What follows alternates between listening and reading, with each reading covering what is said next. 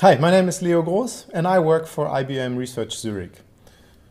We reported um, a molecular skeletal rearrangement by atomic manipulation. So why is that important? It's actually important because it brings us one step closer to really making custom synthesized molecules using atom manipulation. So that is adding and removing single atoms with the tip of our microscope to create arbitrary molecules. Second thing is, in this case, we use that to make um, molecular wires, linear chains of carbon atoms that are sp hybridized and thus show a high conductance. So let me quickly explain what we did here. We obtained precursor molecules from our collaborators at University of Oxford, which looks like this. We put them on the surface, and then at low temperature and ultra high vacuum, we use our microscope to dissociate bonds.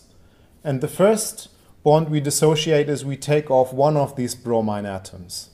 Importantly, the microscope that we use, the atomic force microscope, allows us obtaining images of the molecules of the different reaction steps. So we can obtain an image before we do the reaction, and then we can obtain the next image after we removed an atom.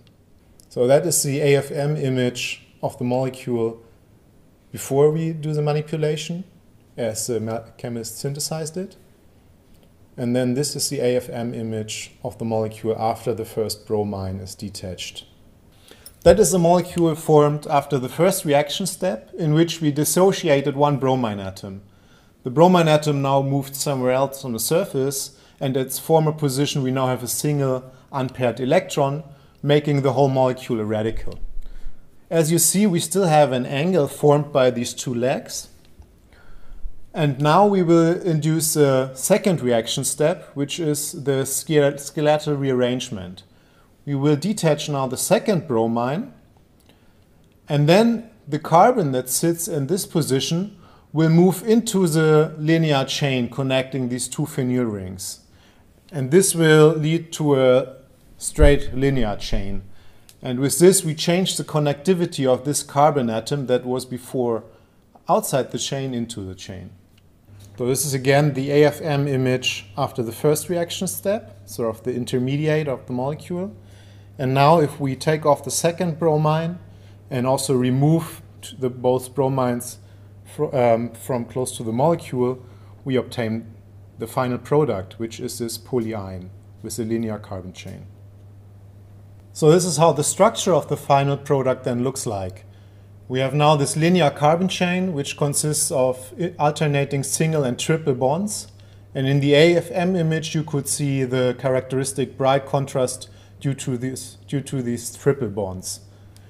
And we don't didn't only make this um, molecule with three of such segments called triyne, but we made also longer molecules up to octayne, so eight of such triple bond segments. And now we did these molecules on sodium chloride, which allows also their characterization in terms of their um, electrical properties. And here we use scanning tunneling microscopy to measure the different transport gaps of such um, linear molecular wires created on surface.